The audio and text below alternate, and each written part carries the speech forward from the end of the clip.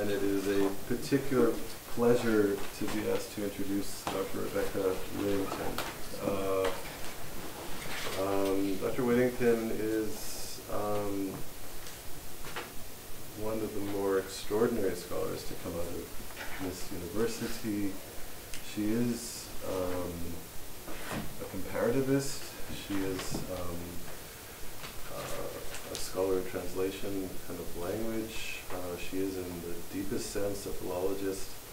Um, and she thinks in her work about questions of difference, uh, hierarchy, um, and um, in every sense the political through um, the ways in which uh, language and literature and hippie modernism come to work.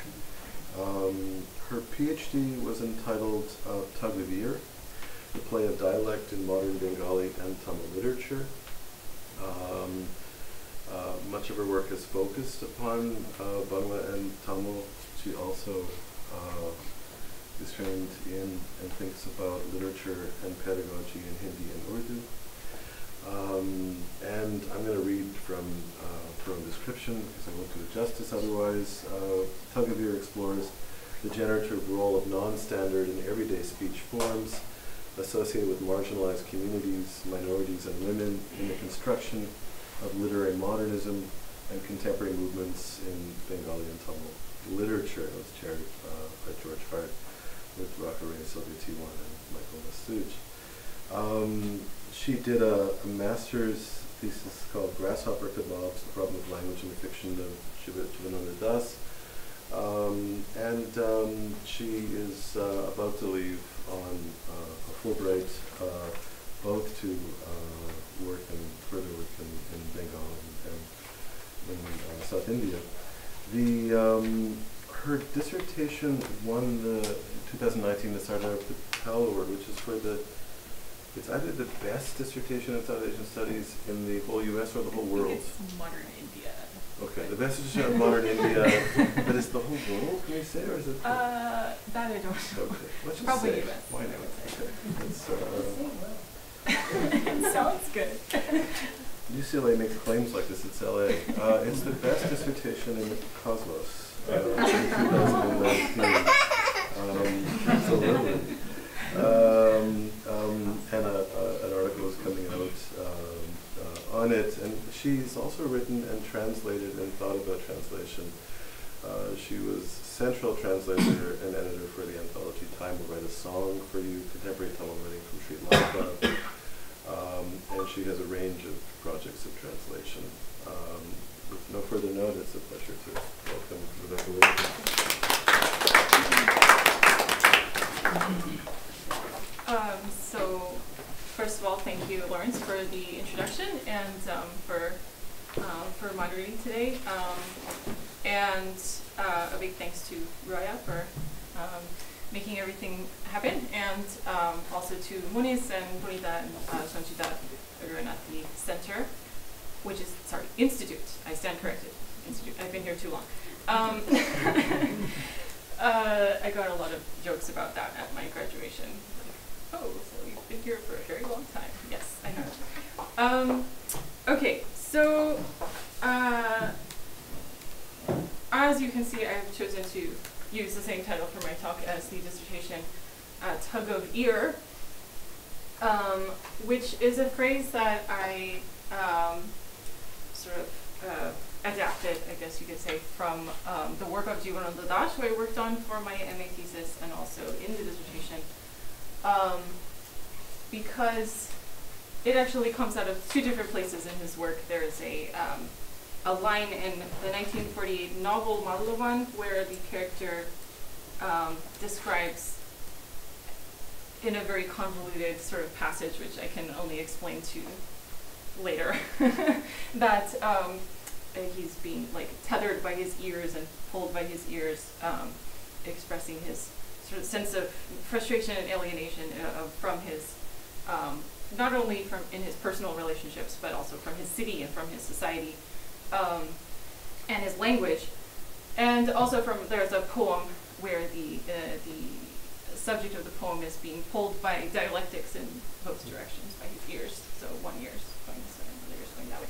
But the reason I chose this phrase to describe dialect in particular is um, because of a, a common phrase, "gotartan," which literally means the pull of language, um, of the the pull of your home place on the way you speak, or the pull of your community on how you speak. So um, I wanted to convey the sense of play in um, in relation to dialect in both of these literatures, um, modern Bangla and Tamil, because um, I think that it is easy to associate socio-regional dialect with work, um, with you know, for example, agricultural work or with um, many kinds of uh, occupations that bring their own uh, terminology uh, into um, into play. But I wanted to to actually focus on the idea of play in um, in the way that writers engage with dialects in um, text from roughly I was looking at from the um, the modernist period in the 1920s to 50s um, and up until today. So I worked on living writers um, as well as um, as modernist writers and some in between. So um, the picture you see here is um, a room from my daughter's dollhouse, actually, um, which she's very excited about that. Um, she also made me a really nice document holder for my documents. Um, but uh, I liked the way she she kind of combined these different elements in her dollhouse of the um, the Bengali pot paintings from the 19th century Calcutta and um, and also the piano and harmonium, which we worked very hard to construct. So anyway, um, that's what you are seeing there in the picture. Um, so the dissertation photo is is on. she, her, her, her, that dollhouse was deconstructed and made into a Taj Mahal, so um, uh, she's a little upset about that. Okay, so the Taj Mahal was much harder to make out of cardboard boxes. Very difficult. Um, so I um, I chose to wrote uh, I chose to write the dissertation on Bangla and Tamil together in a comparative framework because I think that it's something that isn't being done a lot in um, in modern literary scholarship in South Asia, um, and these two languages in particular have not been put in conversation very much. Um, you have some studies on Bangla and Hindi, or uh, you know Tamil and Malayalam, or uh, languages that are seen as being linguistically closely related. But um, but I wanted to attempt something a little different with my um, comparative approach.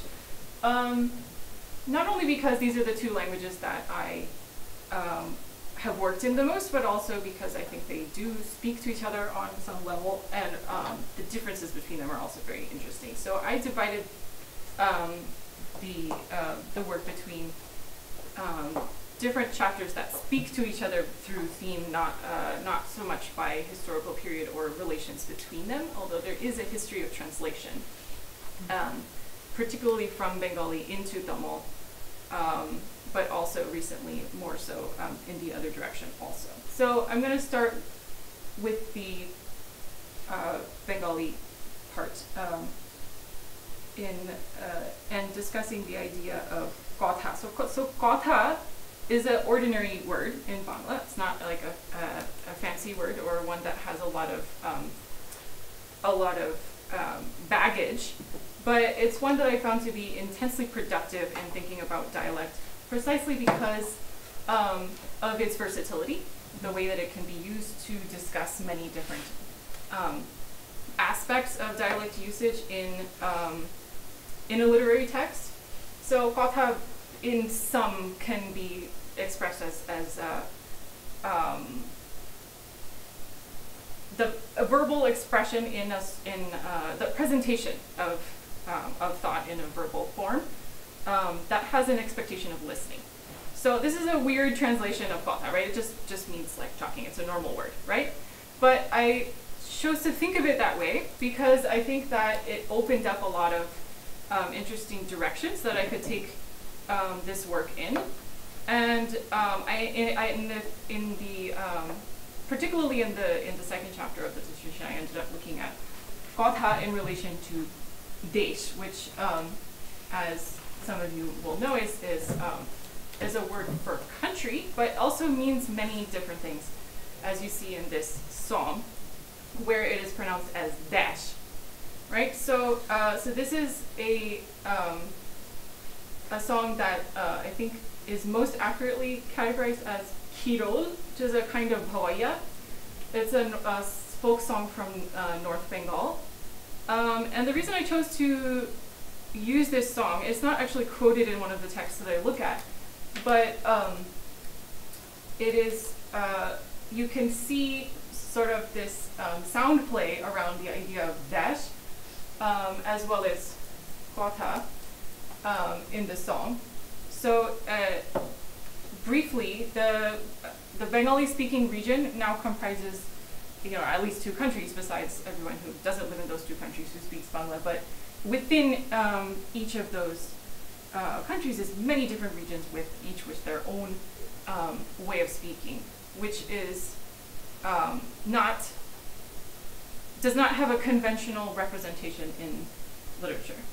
Uh, it is widely used, uh, the, the, the, regional dialects are widely used in literature, but they're not um, conventionalized as a medium of, um, of literary expression. So um, in this song, the speaker is a woman who's um, longing for her absent lover, who is saying um, that he's gone to an upstream, gone upstream on the river, right? And that um, uh, you know people are talking about it, and she's she doesn't know what to say. So. Um, I am just going to embarrass myself by singing the song. because I thought of like trying to do YouTube links and that sounded like sounded like a bad idea because then you know techni technicalities go wrong. So it goes something like this. তোষা নদীর উতাল পাতাল কারবাহা চলে না। নারীর মন মোর উতাল পাতাল কারবাহা চলে না। সোনা বন্ধুর বাতে রে মন কেমন করে গাহরে। তোষা নদী উতাল পাথালে So this is the verse that's quoted here. বন্ধু আমর বানিস গাইছে হে হুসাহানিয়ার দেশে। বন্ধু আমর বানিস গাইছে হে হুসাহানিয়ার দেশে। সেই না দেশে পুরুষ বাধা পড়ে নারী ক্যাশে রে নানান জনের নানান কথা শোনাম না কমরাও ওরে তোর সানুদি উতালে পাথালে So the reason I wanted to sing this song, even though it's embarrassing, is because um, what I found in looking at how these kind of songs are used in literary text is um, much more complex than it seems on the surface. For example, in the uh, in one of the novels I uh, I I read in the um, uh, is uh, Nudin Maji, which is this one on the left. These are the original book covers, um, which they reprint them with the original book covers, so you can get them still in Kolkata now um, with the, the boats over there. So in Padma Nadir Majhi, there is a Bhatiali song, which is a different form of, of river song. The one I just sang is of Bhawaiya. It comes from North Bengal, and it's about the Torshan uh, River in uh, the northern part of Bengal.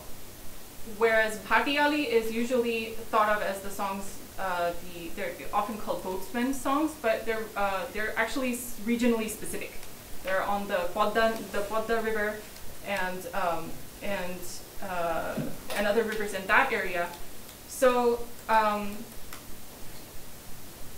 it's not so much the figure of the river or the boatman that is uh, regionally specific, but the melodic form and the um, the uh, pronunciation, the gayaki, the style of singing, that's different. So, um, you know, in my not very good rendition, you probably heard at least a little bit. There's some breaks in the voice. It's very um, sort of stylized kind of singing.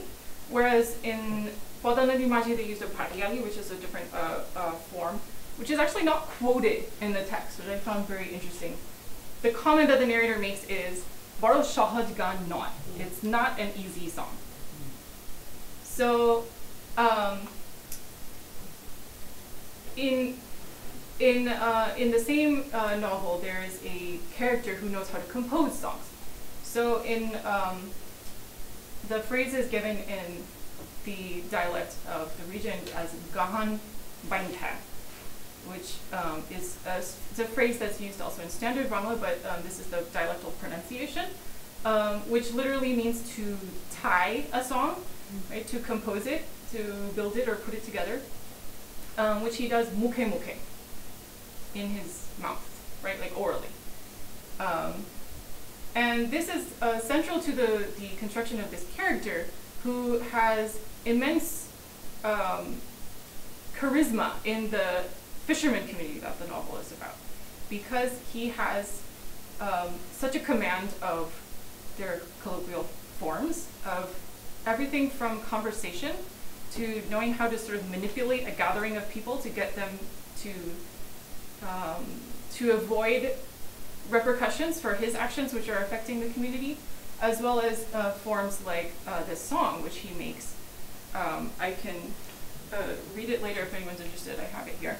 Um, but the other uh, the other form that's important in this novel is the rupkatha, or uh, basically fairy tale. But the literal translation would be something like form a story.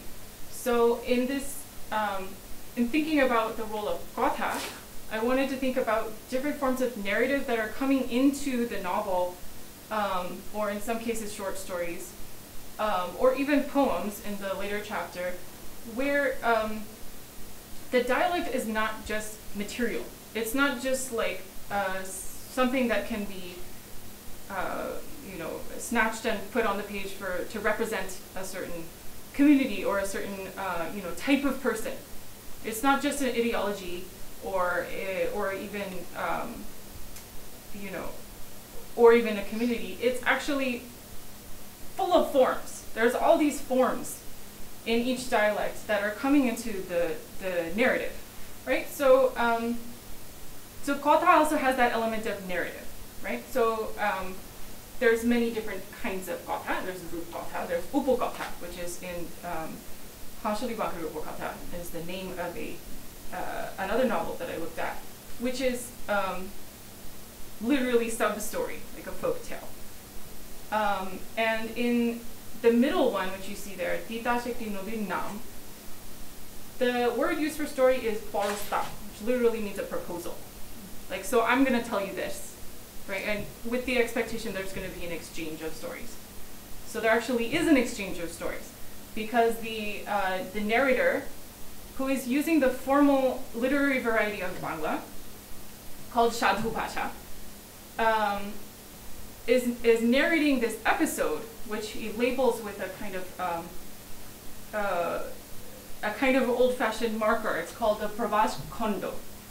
So it's like a segment of a narrative um, he tells this story, and then the women are making uh, just kind of like rice cakes, uh, and they're exchanging stories, parasta. So one woman offers to tell a story, but she doesn't know how to tell a story. So the other women are frustrated. They're like, "You can't tell a story," and she keeps saying, "Janina, I don't know."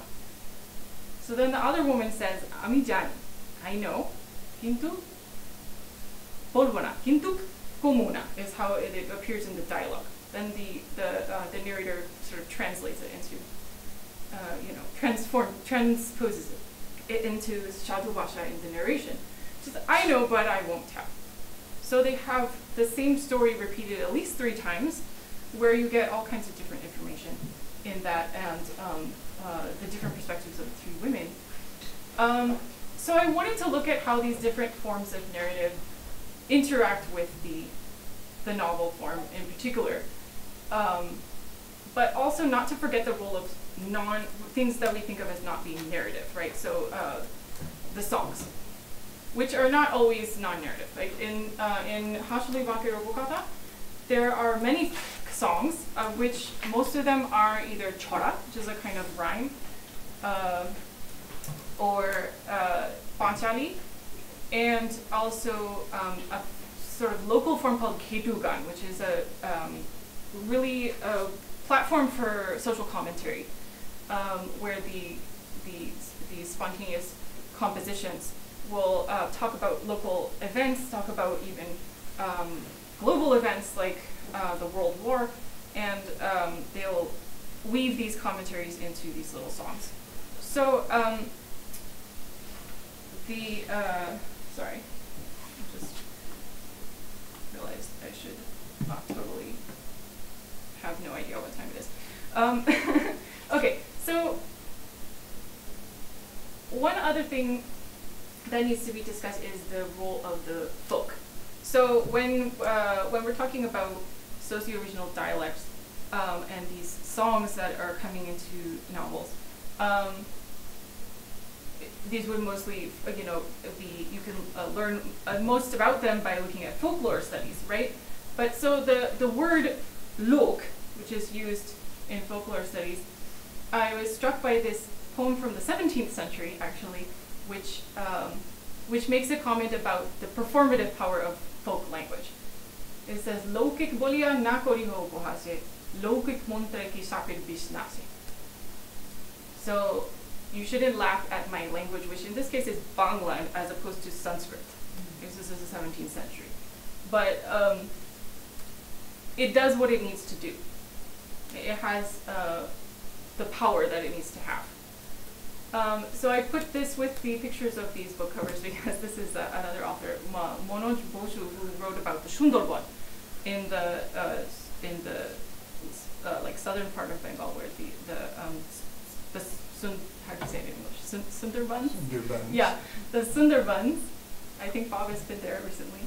Um, uh, so he writes a lot about the, the um, having the local knowledge in one's. the, it's a common phrase, but like in the mirrors of the fingernails. Nok dorbone. If you if you know like you know it like the back of your hand, right? So um, so the use of the uh, the dialects in the uh, novels often conveys just bodies of knowledge that are not accessible, right? Without that um, without that language. So interestingly, in the um, in the 1970s, you have a body of poetry coming out of the western part of West Bengal, in a place called Rar, which is a region of western West Bengal, um, which um, is staking a claim to indigeneity and to the Bangla language as um, not being something separate from or uh, you know obviously better than the uh, indigenous roots, but actually um, that it is our own. That our language is Bangla. That you, it, it is not a sub language. It's not a, um, it's not a sub variety, right? So this poem by Pradeep Bawi, um, I wasn't able to check out the book again and get the original, but the title at least I have. Ito Omar Mayan Pasha. This is my mother's language. So this is the um, the Rar dialect. He's saying you know, uh, again, like don't laugh at our language, um, because there's magic in this language, and it's my mother's language. It's the Bangla language. So I wanted to emphasize my, because it's not the mother tongue, right? Matri Pasha, right? It's not the uh, the abstract uh, construction of the mother that's associated with nationalism, right? This is my, my mother, who um, who taught me this language, which is not uh, you know which which is Bangla. So this is a claim that I found interesting, which is sort of a these, this regional poetry from Rar was actually a predecessor to the Bangla Dalit literature movement, which um, kind of took off in the 1990s. Um, the, so moving backwards a little bit, alongside this claim to indigeneity, um, you have the language of the refugees, right? So um, the partition of India, of Bengal resulted in a lot of people coming from East Bengal to West Bengal, um, as well as the other way around. So you have um, the East Bengali dialects carrying a particular resonance in um, in literature, mostly in prose, um, such as uh, Atin Bandyopadhyay's Nilkantha Pakhir Khoje, which I I uh, I discovered was very popular in Tamil translation, which I found very fascinating because it's a dialect novel, it's a regional novel, it has a lot of it's just loaded with um, with detail about um, about the region and the people and the local life, but was extremely popular with uh, Tamil writers at the time um, who read it in uh, uh, in translation. Um, and a lot of these books were actually circulating in local libraries, so um, they were they were widely available at the time. Um, the other one is Agun Pakhi. This one is actually written um, in the in one of the Rar dialects, the dialect of Bardhaman. Um, but uh, you know the author is uh, uh, is now Bangladeshi. Um, so you have this happening on on uh, on in both directions. Um, so here again, the the language has to do with dwelling, with habitation, right? So on the one hand, you have uh, the idea of adi bas, the being the original dwellers in a land. Like, like this is our land. You you can't put us down, right? On the other hand, you have um, the language of the refugee, right, which invokes this immense loss and and um, dislocation um, coming in as well. So um, so the idea of of dwelling and habitation, I think, is very important in thinking about um, the role that like that language plays, that lang- linguistic diversity plays in um, in literature, and um, I also kind of uh, found uh, some er- other scholarship on the on the idea of um, of habitation to be problematic. So we can talk about that later if anybody's curious. Um, so this one is a little magazine. Uh, the editor is uh, Polani Thakur, who's a prominent um, Bengali Dalit writer uh, now, living now. Um, is called Neer, which means nest. So you can see the graphic is kind of like made to look like a tree, right? Um, and this is the, the special issue on refugees or Udbastu. Um, so the poem that I have here is um, by uh, Bijoy Sarkar, who is a, a Kobi. Um, so this is a form that's called poet songs, which is has been like widely maligned in um, in especially in Bangla language scholarship for being like this obscene product of 19th century Cal- Calcutta babu culture, and it's like so horrible. And we're so glad we're modern now, and we don't have to think about it. But actually, in the in the the Dalit literature movement, um, there's been an emphasis on uh, Kubik on this form. Um, because it was related to the um, the Motua movement in uh, Puripur and in uh, sort of southern East Bengal, um, which uh, which was a really important predecessor to the Dalit movement um, because it, uh, uh, it it came out of the Noshudra community who um, who agitated for um, for uh, for their their rights in as far back as the colonial period, um, and so Bijoy Sarkar is one of the well-known Kobis who um, was from I think Narail in East Bengal, and he um, he ended up in West Bengal later. But so this form, which is uh, sort of associated with the, the, the decadent Babu culture in literary studies, is actually um, a thriving form,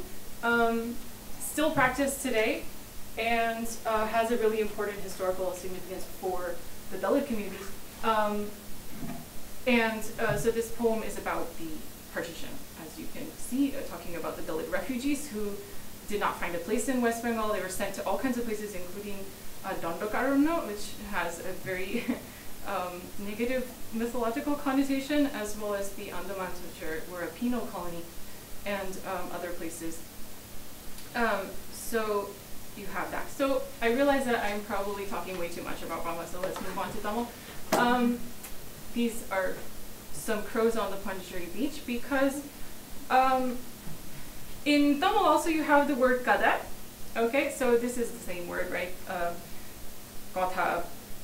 gada. Um, but what I ended up emphasizing in my uh, in looking at uh, contemporary Tamil writers, living Tamil writers now who are using dialect in their work, um, is the um, the way that I um, I understand them to see dialect as a mode of attention. So in Tamil, attention is gavaram. Uh, and these crows are here because one of the writers that I worked with and got a chance to meet was um, Kanmani Gunasegaran, who has often compared the role of the writer to that of a crow, where the crow is just sitting there on a branch, you know, whatever, minding its business, looking around, and then it sees something tasty like this fish, and suddenly it's, uh, you know, it like tilts its head and looks very keenly at that object. Um, so he feels that the the writer's job is also like that to um, to listen attentively and to um, to collect those things which are being are not being told, the voices that aren't being heard, the stories that haven't been told, and to uh, to incorporate those in his writing. So uh, so he's one writer who has a very vocal, open, ethical commitment to writing in dialect. Um, and here is a picture of his home region, uh, which is not a very good picture, but it has um, you can see the red earth. So the different um, towns in his work are associated with different uh, colors of earth. The, the red earth region is where they produce cashews, so that's a cashew fruit and a cashew nut. Um, and in Tamil, you have an expression for dialect which is called Battara Varike. So this means the loosely like the practice or the custom of a region or Vattaram. So Varike being a custom or practice, right? So um, so again, it's very important to think about space, about the way that um, that language relates to space, right? So uh, I have some terms glossed here. So Nadu is, is the Tamil equivalent of Desh, roughly, right? Um, the region that uh, this author, Kanmani Gunasegaran, comes from is called Nadu Nadu, which is the region in the middle.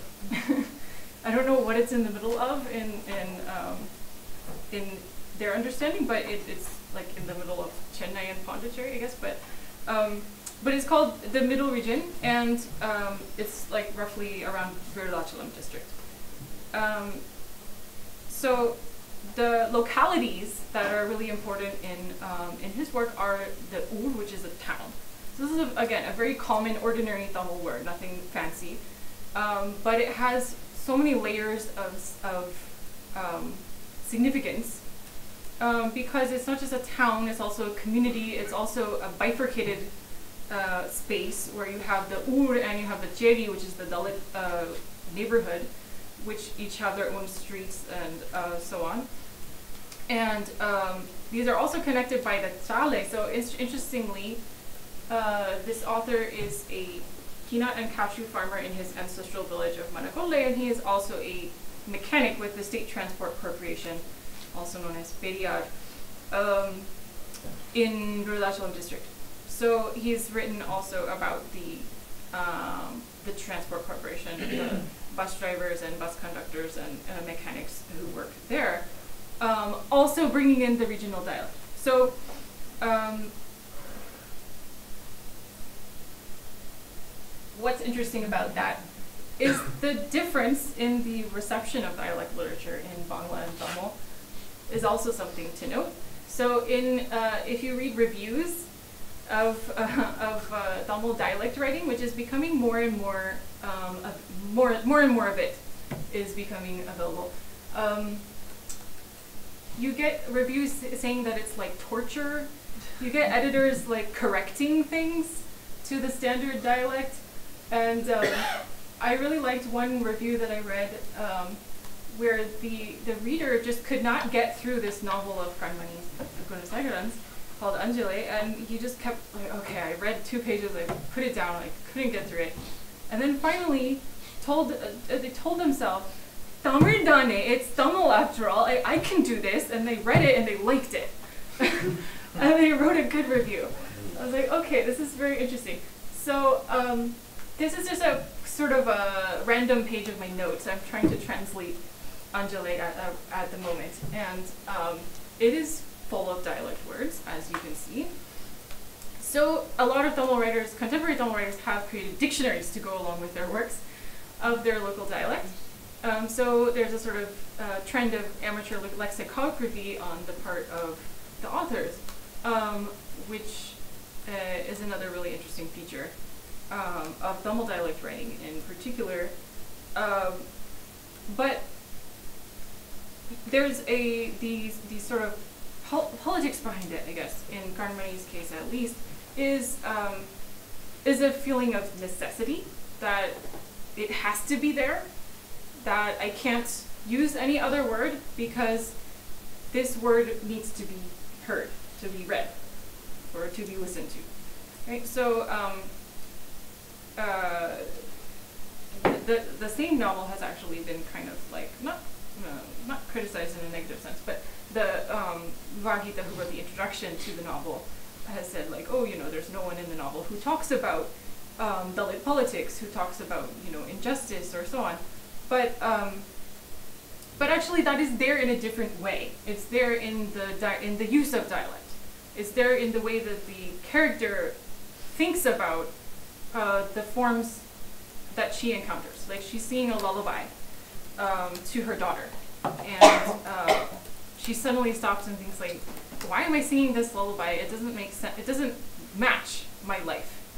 And she has this moment of, um, uh, you know, where she's she's thinking um, about the uh, about this song. So there's um, there's many instances like that. Uh, but actually, I'm going to kind of mix up these slides a little bit because the other form that's really important in contemporary Tamil literature is the Opari. So this is a lament form, and um, I actually wrote a paper about it for Lawrence a long time ago because um, we were reading Pandian's work about Opari in um, in uh, in a different region of Tamil Nadu, and um, this is usually a woman's form of lament. It can be in no- in uh, novels in particular. You often see it just kind of uh, as a sort of spontaneous outburst of feeling, almost like the way a film song works. But um, it's uh, often performed collectively, where the women of the community or the neighborhood or village would, would uh, get together and um, and uh, sing together, right? So one woman will start, and then another one will start, and then they'll, they'll sort of pass them around. Um, it's even been used in. Uh, uh, I saw some like news thing about um, using Opari as a kind of form of political resistance. But um, so this particular one comes from Tamil Selvi's novel Al- Alam. So um, Su Tamil Selvi is a another living uh, Tamil writer from uh, from a different region called Tiruvarur, but she actually lives in Virudhachalam now, um, and she's also an educator. Um, so I wanted to include an example of Opari so you can see the structure, right? It's based on a incongruence, right, of like what I expected and what happened, um, or what's beautiful and what's happened to me that's, uh, you know, distressing, etc. So it says, "Alli konamarinji yenna adarikka yarumilla kottiyum tamariyum." Oh, I'm missing a line here. Sorry, I, miscopied it.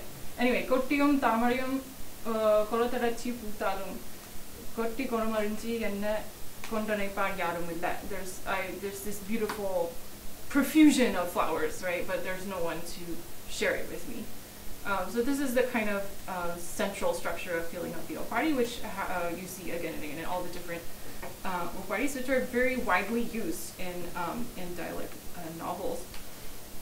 Um, Kanmani Gunasegaran has actually apparently written one for a film. I just learned um, there was like a, I think a 2015 Tamil film that uh, he composed in Opari for the film. Um, so he's one of the rare male performers of Opari in uh, that I know of in Tamil Nadu. I know in Sri Lanka there are some forms of opari which are performed by men, but um, but in, in as far as I know, in Tamil Nadu it's mostly women. But he writes opari as well as other. Um, he actually started out writing uh, wedding invitations and like um, you know rhymes, you know those kind of social poetry. So um, so he has that kind of um, uh, those kind of forms available to him. Uh, so what is interesting about Opari in a dialect novel? Well, uh, not only because it's uh, it might contain some dialect, but also um, the way that uh, that it's cast in, in Tamil Selvi's work in particular as um, a form of women's bonding, um, which is not always, um, doesn't always work. There's a scene in one of her novels, Kachari, where uh, the women of the community have got together to sing Opari together on the occasion of a death, and then um, the main character is being totally sidelined by her mother-in-law, and um, who's trying to like send her back home and won't let her stay. And the other women are protesting, like, no, she's come to sing Opari, she should do her part and she should sing. And um, so there's this kind of altercation there. Um, but uh, Selvi's work is she uh, she characterizes it herself as being uh, stories of women's struggles, Bengalin Boratan. So uh, she, we can say, is a self-styled feminist writer. Um, but what I argue in relation to her work is that the strength and the power of her feminism actually comes out of this very intimate um, uh, exploration of local practice and language, which um, which actually ranges across multiple regions. Um, her her work moves a little more than Kanmani's work does, uh, which is very rooted in one uh, district. So uh, her characters move around, but what I want to emphasize again, as as I did with the um, the Bengali uh, partition literature, is that um, there's a sense of uh, local language not being some kind of inherited birthright, but something that you have to actually learn and um, make your own and build. You have to build a home and a community, right? Because um, uh, with, uh, with, with almost all these characters, um, they're mostly women who are uprooted routinely, you know, as, as, as patrilocal um, custom, right? So the, the word that she uses a lot is actually literally to be subject to life in your husband's town. Barke Parvede. So she, uh, so the, the women in her stories are finding strength and um, creativity in new environments. Uh, so the so the the dialect takes on a particular um, valence, I, I, think, in her work, as well as the um, just the thick detail of local practices. And so when you talk about dialect, it's like a language thing, right? But it's actually comes out of practice. Um, as uh, uh, there's a, an article by uh, by one of our friends in Pondicherry, uh, who is a historian of science and mathematics, but actually he wrote about um, dialects in practice, the way that um, you know people measure things, right? Um, it varies on different levels. So, um, I, what did I skip? Oh, yeah, play. So, Rayate in Tamil. Um, this is an excellent discussion about a louse, which um, knows where the ocean is and doesn't want to go there because it will drown. So the, the reason I liked this passage is because these women have just come home from an exhausting day's work in the salt flats, um, harvesting salt. And, um, and they're playing with a louse. They just can't get over how, how fascinating it is that this louse will not go to the ocean. And so um, you have this moment of play. So the element of play is really strong in, uh, in Selvi's work. I actually ended up kind of just tracking all the, these moments of play. Um, and the other form that's important in the work of both authors is Vasanga or Vasapa. There's different dialectal, uh, you know, names for this, but it's curses, right? So this is something you see in uh, in uh, in in Hansuli Banker Upakatha also, where he uh, the the Bengali novel that I was talking about earlier, where the um, there's very particular form of curses. Um, so again, the uh, the performative element here is something that really needs to be paid attention to. Um, and no one is telling me how much time I have left, so I'm just I just keep talking. Um, what? How Well, much time It's, it's five fifty-five, so maybe, Yeah. uh, depends on fifteen minutes, then you'll have time for some twenty minutes for questions. Okay, yeah, I'm on my last slide, but I was just not wanting to rush through if I have a lot of time. So- Five minutes. Okay, Fine, yeah. um, fine. Boss hit pages. So, uh, I just wanted to conclude with um, these couple of quotes. Uh, because I think that's something that I didn't really do in the dissertation, but which is really important to the way that I see these works, is um, is the the materiality of them. Uh, there's this quote from Tamil Selvi, who um, who went to a school called uh, Gurukulam in uh, in uh, in and it had a printing press, right? She, so she's talking about how she used to like filch the books from the printing press and sew them into her school books to read them. And this is how she encountered a lot of, um, you know, works that were important to her as a young writer. And she uh, uh, also talks about reading a lot of Bengali translations and um, and just other uh, world literature as well. Um, and then the quote which I ended up using for my for uh, in the to excuse myself for my choice of texts is uh, again from Jibanananda Das. I bought a few books on the authority of my own mind.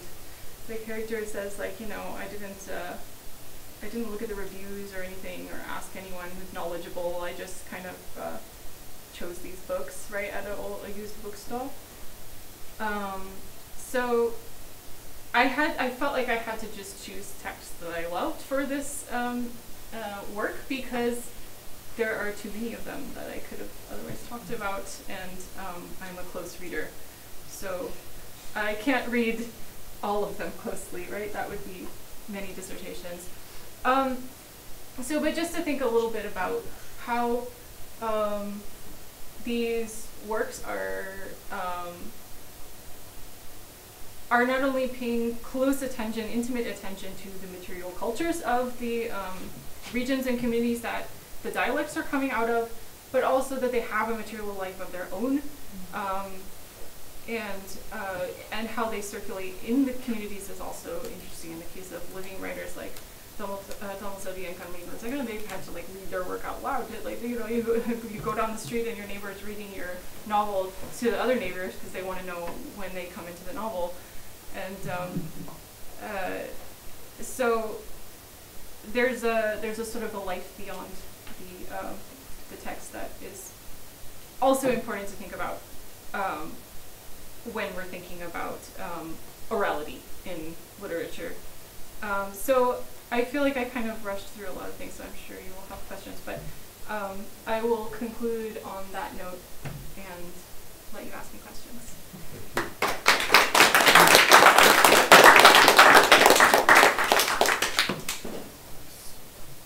Yes. Okay, so thank you, very interesting, especially the comparative thing. I had a question, just a kind of linguistic question, you know, Yes. just looking at the, um, the dialect passages you showed Mhm. uh, from uh, Yeah. Bangla. So it, it looks like, you know, as far as I can see, the, the uh, Desha Bhasha is rather different from the Sadhu Bhasha, Right. but yet it, it's, the vocabulary seems still very Sanskritic. hmm Yeah. So I was wondering, is there a, is there a corpus of a kind of Desha Shobda, so to speak, like local words that are not from are I know many of like maybe local, Yeah. like birds and plants and things, but is there a large vocabulary of kind of hmm words, you know, that are not uh, of Sanskritic origin? Well, I mean, it, it varies from dialect to dialect. Uh-huh. Um, there are some dialects which have a lot more Persian and Arabic vocabulary. yeah, that's what I was um, you know, but it dep- depends on the dialect as well as the community that the speaker or the writer comes from. But um, the uh, the standard Bangla is pretty Sanskritic across all regions. Hmm. Um, so the degree to which a dialect, you know, a passage in dialect is actually very different from the standard varies a lot, right? Because it depends on some of the spoken dialects are closer to um, uh, to Cholit Bhasha, to the kind of modern standard, um, and some are much farther away, right? So um, there's a degree of distance even there. But a lot of times when you're looking at sort of cursorily at the dialect, uh, it might not look that different, but if you start looking really closely, then you'll find all kinds of things because there's little tiny things like onomatopoeia. There's another um, poem that I didn't quote here, which um, which is talking about a harrow, and it says something, uh, you know, about uh, our bodies being like hunhunda uh, harrows. I have no idea what that means, right? Because it's an onomatopoeia for something that I don't have experience with. Okay, I've never handled a harrow, so um, there's things that seem small, but actually are these like worlds that you have no access to except through those little words. Um, and also, sometimes the usage of a word will be di- different in the different dialects. So it, it might look like the same word, Right. but it's actually used differently. Right. Perumal Murugan uh, has uh, pointed that out a lot in his work, Mhm. where, you know, um, he has a very funny story about translating a book of his that's about uh, sheep herders and the translator, who's a native Tamil speaker, consistently translated it as goat every time, or maybe it's the other way around. But so the goat and the sheep got confused, right? Because he was Mhm. using a local. It made total sense to him, but if to the translator, it wasn't clear whether it was a sheep or a goat. Similarly, the word gade, gade is a forest or a field, like an agricultural field. Um, so you have to know where you are when you're translating that word, um, you know, um, and not make put forests in the place of the fields, right? It, um, so it's things like that. So when dialect gets literized, so to speak, now Uh-huh. put into books and you Yeah. know so on, so does it get changed? Are the writers sort of norming it in a certain way for things that are a little bit out of the norm that their readers won't understand? Because I, I understood you to say Mhm. that some of these writers actually are providing glosses Right. within, like sort Mhm. of like Sanskrit chayas of Prakrit lines in a play. In other words, Yeah. you have the original, but then you, you Right. assume your audience won't understand it, Mhm. so you kind of gloss it. Yeah, well, Yeah. there's a wide variety of different approaches. Some use a paratext, right? Some use uh, footnotes, um, or endnotes, or glossary. Mm. Separate dictionaries, right, have been Mm. produced by a lot of writers. Um, or there's a sort of an in, in text, like the uh, Hansuli has this tick where the narrator keeps saying ortat. So this meaning, means meaning, I see. so uh, Benjamin Baer, who translated that novel, has written about that. Um, but so there's a wide variety of different approaches, and what I found was interesting in comparing and contrasting, I guess, um, Bengali and Tamil is that in uh, in Tamil there's this strong discourse of unintelligibility of the dialect. Like we don't know what you're talking about. How can you write in this language? Um, even though you know, I mean, as a non-native speaker, I feel like that it's not really any than reading any other book. But um, um, but you know, that's that's me. Um, whereas in Bangla, I have not seen that kind of discourse. Right? There may be to like, oh, you know, maybe why do we need to write in dialects, but not so much that oh, we can't understand it. Right? So um, I felt that what Hansuli Wukala is doing is actually calling that out and saying, no, you can't understand this. Because the dialect that's used there is actually not very different from the standard. Um, not so much, I'm not saying that the real spoken language isn't different, but that the representation is not that different. It's orthographic mainly. It's a spelling difference.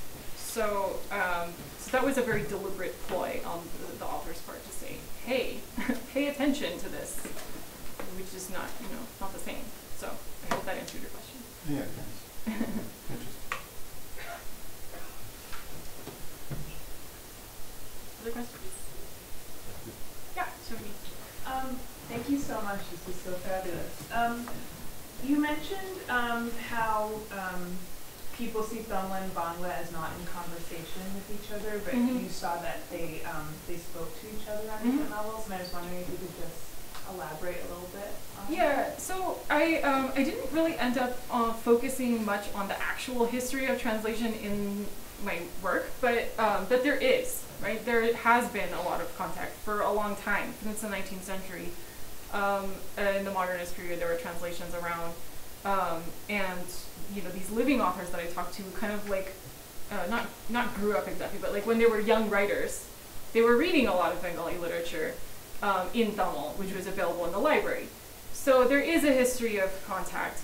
Um, there's a one translator in particular who lived in Kolkata was a native Tamil speaker. He translated a lot of stuff in both directions. Uh, Krishna, I think it's Krishnamurti. Um, so he unfortunately passed away before I got a chance to go pick his brain. But um, but so there there is that real real record of of, of, interaction. But also um, I think that it's easy to get stuck on the linguistic barrier and not think about ways that there might be commonalities beyond that. Um, there are a lot of really obvious differences um, in terms of like you know the the kind of massive impact of partition obviously is not felt in the same way as in Tamil. So the relationship between language and place is not really the same. Although since I have a background in translating Sri Lankan stuff, you know, I mean that it is very much there in in the case of Sri Lanka. Um, so I uh, you know I haven't really I to do more research on that, but. Um, but yeah, so uh, so that's what I was going for. Also, it's like you know we got the East Coast thing going on. It's like there's there's more to it than just the language family. Um, okay. I'd be curious um, if you could just say more about um, like maybe venturing into sort of a more speculative around why um, people receive sort of the Tamil dialects as unintelligible Mhm. and, and the Bengali ones as, as, as intelligible or like yeah like how do we understand that culturally? hmm Uh, so one thing that uh, might make it easier to understand is that Tamil is diglossic. So the written language is still very separate from the spoken language. Um, and one thing uh, that I wrote about, but didn't talk about, is um, the use of spoken Tamil in writing, which is becoming more popular, um, which is not necessarily heavily dialectal uh, language, but it's a representation of speech. Um, so you'll have you, there's like a there's a, re- a recent novel um, by Imayam called Yenka that which means my story, and it's narr- the entire book is in spoken Tamil, right? So the there there it's not a conventionalized literary medium yet. It who knows maybe someday it will become one, but uh, uh, but it's not right. So in Bangla you don't you have a a, a, a variety called oh, oh well, I mean, I don't know if it's still really called that now, but Cholit Bhasha, which replaced the older literary standard, which was um, Pasha. So a, a more formal kind of literary language was replaced by a more colloquial one. So, but it's been freed of the burden of being a representation of speech, right? It's a it's a modern prose form. So, um, so the absence of that in in Tamil actually almost seem doesn't seem to be any barrier to using dialect. I mean, dialect seems to be more used in Tamil than in Bangla. Um, but there's more um, debate around wh- uh, what I don't know how you can code switch.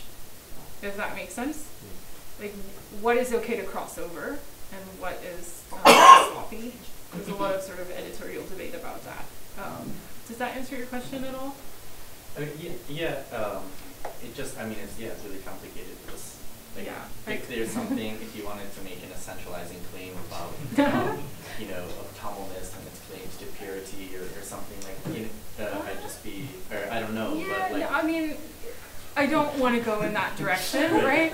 Um, I think that there's been a lot written about Tamil language nationalism and not enough about the whole literature. Mhm. so yeah, I'm not sure I want to make that kind of a claim, but um, but it's just a different literary culture, you know. I mean, uh, but a very active and diverse and vibrant one where uh, you know anyone can be a writer. If you look at a list of Tamil writers, uh, you know, like there's a, a an anthology of short stories and that's been published in translation, Mhm. edited by Dilip Kumar. And, um, he makes a comment about how you know if you look at the list of authors in the back, like they they all have different occupations and professions. Like there's a lot of diversity in contemporary Tamil literature. Um, which I mean, not to say that there isn't in Bangla, but uh, but just that that's a feature of the literary scene. Um, whereas in Bangla, the use of dialect has gone down, I would say, since the modernist period. It's coming mm-hmm. back in certain experimental ways.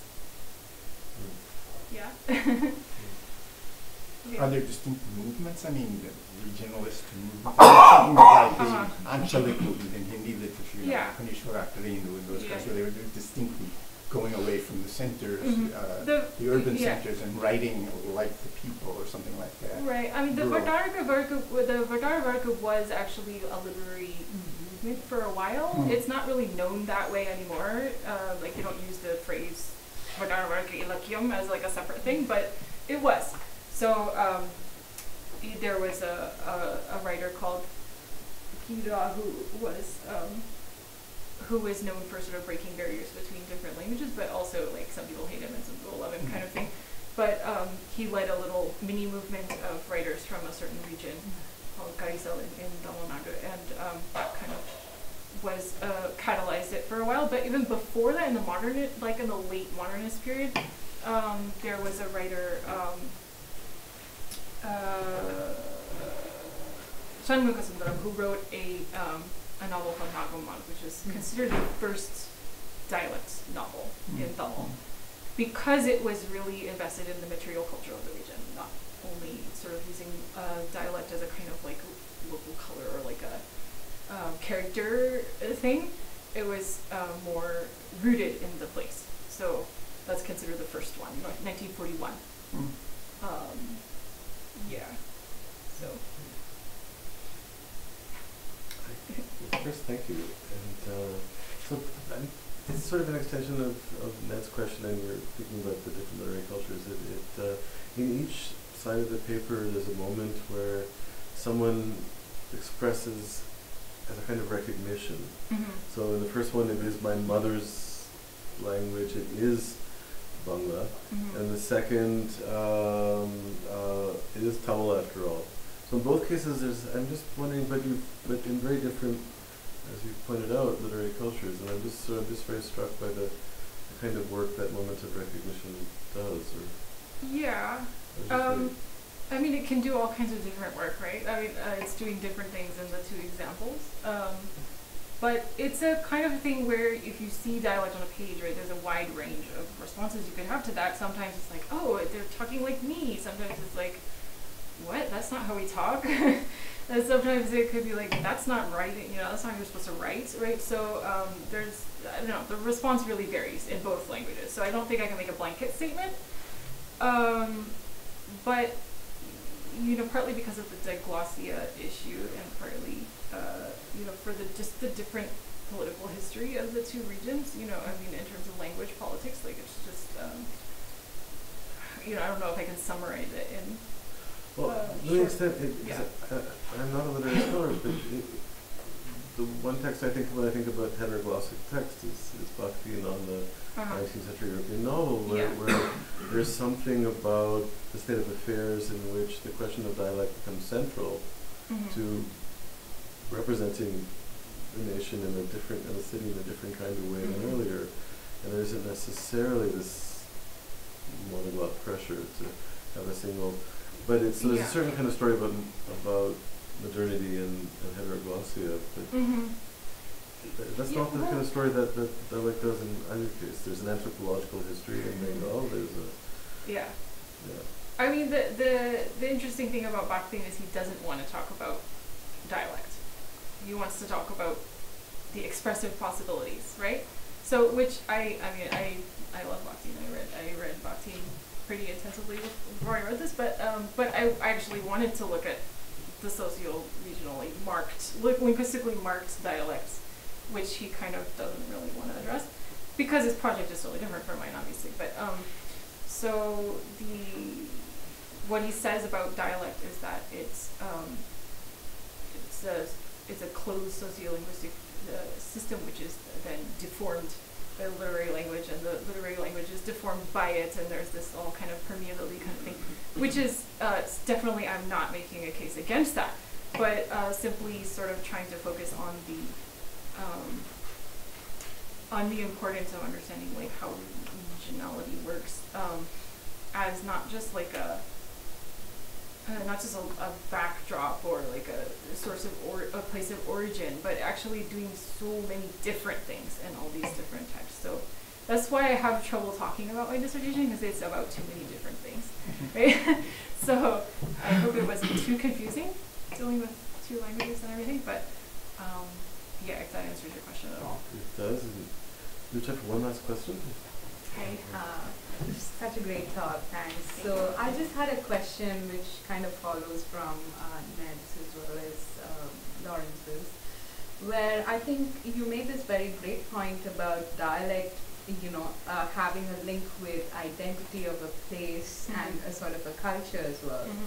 But I think there there was a moment in specifically Tamil literary cultures or history where dialect becomes political, Mhm. right? So it is about uh, bringing a totally new um, kind of representation Mhm. into the fore, which was aligned with the Dalit movement. Right.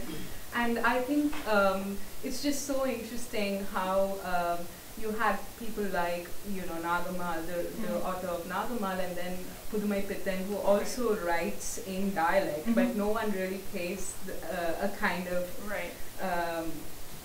Almost, you know, saying uh, we can't read this, like in the way you Yeah. know they say about writers that you've mentioned. And I think um, just in terms of of nationalism that you brought out as well, perhaps there's also the link between, you know, writing in high uh, Tamil. Mhm. Uh, you know, with like just thinking of Barney Bate's work, Right. you know, through that. Um, and then you have this parallelly, this rise of um, dialect in modern Tamil literature, which can, I think, really shed light on uh, a certain kind of politics, Mhm. which I think is continually evolving now with the success of Perumal Murugan Mhm. and, uh, you know, the wide kind of translation right. that he's uh, really been given access to. Yeah. Yeah. Yeah, that is just an a comment. interesting. I don't think it's a, it's Yeah. a question. Yeah. No, but yeah, um, uh, no, it's absolutely, it's definitely political. Um, I kind of, uh, I'm actually going, yeah, my next research is more specifically on Dalit literature. Like, I wrote Mm. some on Dalit literature in the dissertation, but it wasn't the only focus. Um, but, uh, but I'm interested in thinking more hard, hard more harder about um, about the role of of, uh, of dialect in Dalit literature because I think it's something that's often kind of overlooked. Um, in the case of Bangla particularly, in Tamil, uh, you have um, you know writers making pretty vocal statements about it, like Bama being sort of questioned for her use of, of colloquial Tamil and and, uh, and in some cases dialectal and, and just being like, well, why not? Like I, you know, this is how I wanna. Um, so there's a lot of different, uh, you know, differences between the two languages, but I do think that um, uh, yeah, I'd like to explore that more uh, in my further research. is- Yeah, like even Ba, I mean um, Salma, right? Right, Who's a uh-huh. Muslim uh, Tamil writer. She has a glossary at the back, Uh-huh, and yeah. that's. I mean, it's just Muslim Tamil writing. It's usually glossed Right. under that. So I, I just think that that's kind of interesting when you look at sort of minority literatures Yeah, within uh-huh. Tamil. Right, thank you. So before we thank you formally, we have to give you the ritual welcome Okay. to the institute. It's something to study for you've never been. I'm nervous. So it's, um, which is the bag. Bag. Thank you very much. And after we thank uh, Dr. Whittington, please join us outside for further conversation.